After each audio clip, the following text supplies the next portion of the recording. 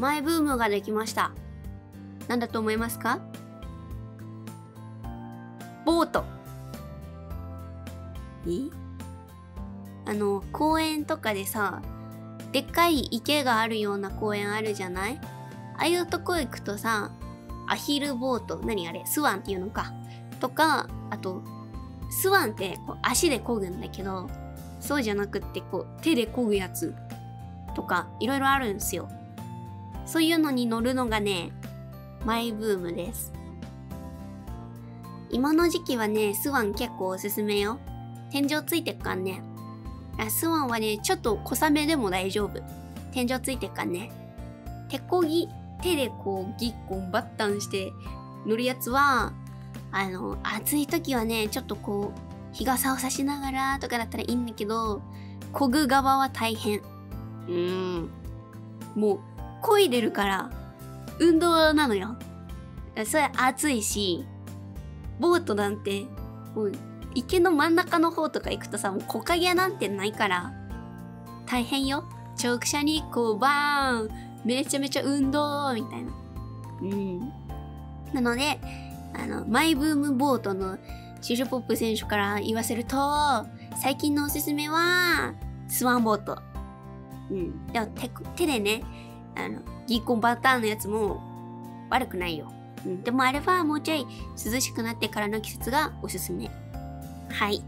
みんなのマイブームも教えてね。それでは参りましょう。シュシュポップのシュシュポップラジオ過去仮。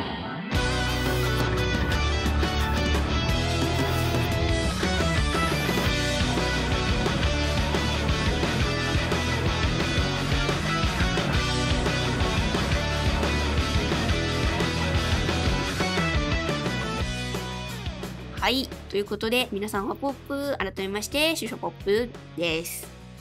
はい。今日はね、前回先週？違う。先月？やらなかった気がする、このコーナー。なんでもランキングやったっけ？やったかな？忘れちゃったけど、体感ちょっと久しぶりな気がする。今日は、好きな出店ランキングそれでは参りましょう。第3位。水笛。わかる？あの、半透明でさ、ピンクとか水色とかの鳥ちゃんのさ、笛でさ、水が入ってて、吹くとヒョロヒョロなるやつ。あの、ヒョロヒョロの音が可愛いんよ。で、こう、売ってるおじさんとかもね、あのヒョロヒョロをこう吹きながら売ってたりするよね。うん。あの音はね、お祭りに必要だと思います。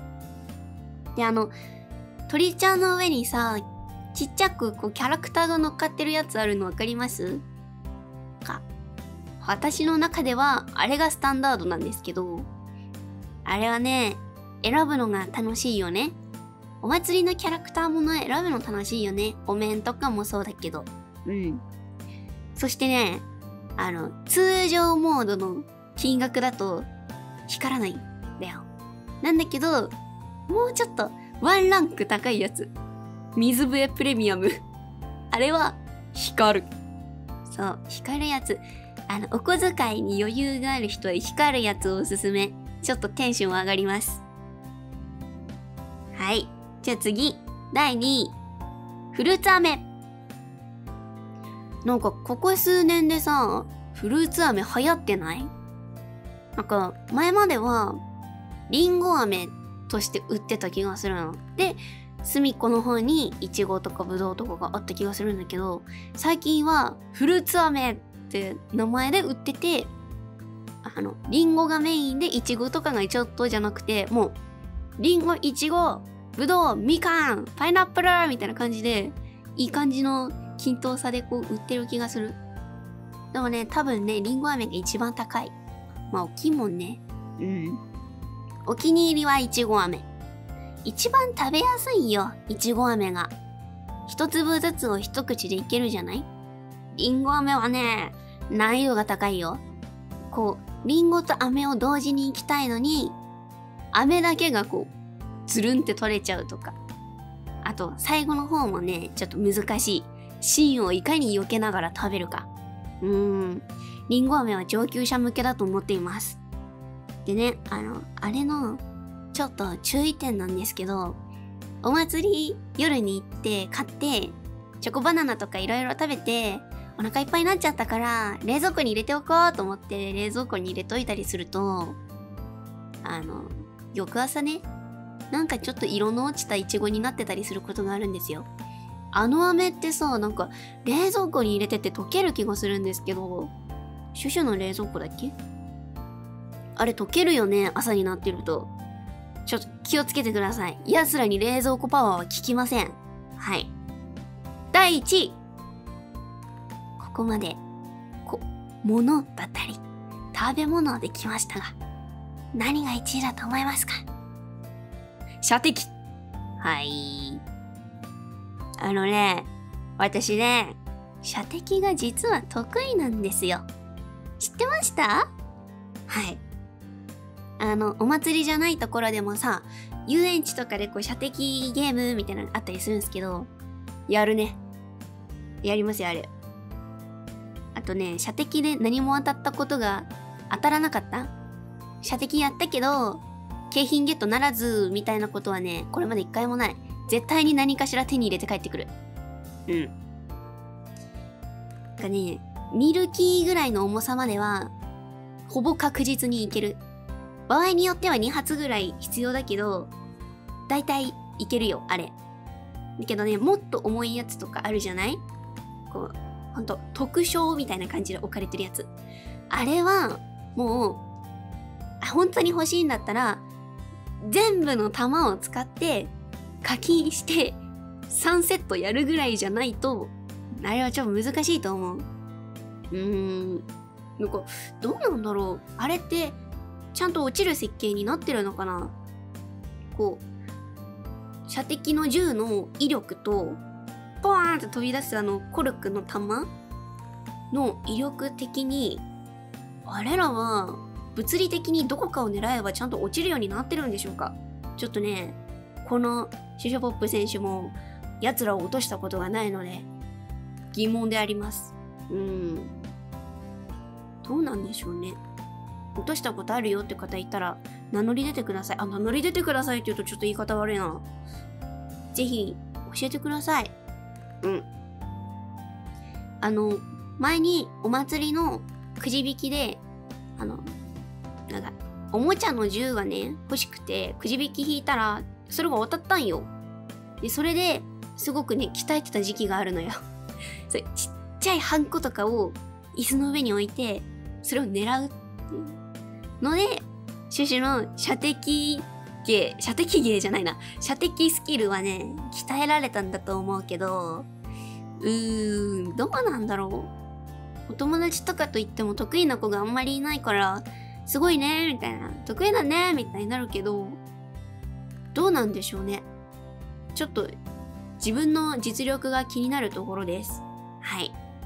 そんな感じで、私が一番好きな出店は、射的屋さんでした。はい。では、普通のお便りご紹介します。匿名カピバラさんからいただきました。ありがとうございます。シュシュちゃん、おはポップいつも楽しく聞いています。ありがとうございます。おはポップでございます。最近あった悲しい話を聞いてください。カピバラです。最近悲しいことがあったとです。なんだって ?7 月30日は土曜の牛の日ということで、うなぎを食べるのがいいとされている日でした。うん。やれ僕もうなぎを食べたいなぁと、うなぎと牛肉とが入った高級なお弁当をあるコンビニエンスなストアで予約していました。うん。これは去年も買っていたもので、うなぎは鹿児島県産、牛肉は地元ブランドの有名なものです。そして当日、お弁当を受け取りに行くと、店員さんが罰の悪そうな顔をしながら、注文の手違いでお弁当が入荷されていません、とのこと。はて予約とは、この予約表の正当性は、などと思いもしたのですが、代わりに、うなぎだけ弁当ならあるということだったので、そちらを選ぶことになりました。どちらも鹿児島県産で、まあ悪くはなかろうと。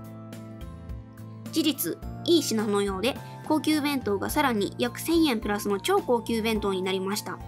大変美味しくいただきました。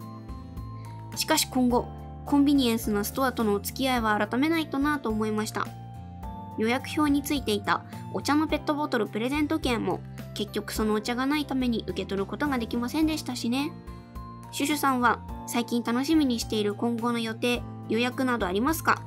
念のため相手に再確認を取っておくきっかけになればと思います。ありがとうございます。うーん。なんだか大変だったんですね。うなぎだけ弁当って何？うなぎだけがぎっしり入ってんのかな？ちょっと気になる。でもそれはそれですごくお得な気もする。で何？お茶のペットボトルプレゼント券？もお茶がなくて受け取ることができなかった。お茶大人気だったんかねどうだったんでしょうかで、楽しみにしている今後の予定、予約など、えー、今のところないかなうーん。あ、なんか予約が取れてるわけじゃないんですけど、とあるコラボカフェにね、なんか抽選なのよ、予約が。それで申し込んだんだけど、第3希望まで申し込んで全落ち。で、なんか延長期間に入ったから、それを今申し込んでる。第3希望まで。それが当たればいいなと思ってます。だからね、当たんない気がする。なんか人気すぎて。うーん。でも、もし予約取れたらね、ちゃんと確認しながら行きたいと思います。はい。うん。うなぎはちょっと残念だったかもしれないけど、また美味しいものを食べれる機会があると思いますので、まあまあまあ、へこまずに次へ参りましょう。ということで、匿名カピバラさん、ありがとうございました。はい。えーと、今回ご紹介したのは普通のお便り。なんか身の回りに起こったこととか、読んでほしいなってこととか、そういうことをね、何でも送っていいよっていうのが普通のお便り。そしてもう一つ、月のテーマのお便り募集しています。8月募集しているのはおすすめの温泉について。こちらはね、9月のラジオで読ませていただきますので、皆さんぜひぜひ、エピソードの名もね、添えていただけるとね、すごく嬉しいだなも、なんかちょっと噛んじゃったもんね。はい。そんな感じです。はい、終わりということで皆さん本日も最後までお付き合いいただきありがとうございました。今週も料理と参りましょう。ポップポップ。おー。はーい。シュシュポップでした。